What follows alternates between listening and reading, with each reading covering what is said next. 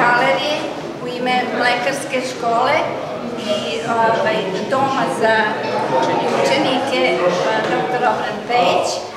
Ovo je druga po redu ovaj, kolonija, likovna kolonija Mlekarska škola. Nadam se da će postati tradicionalna. U okviru je kulturnog leta. Galerija je našla prostora da se i ove godine radovi pogledaju.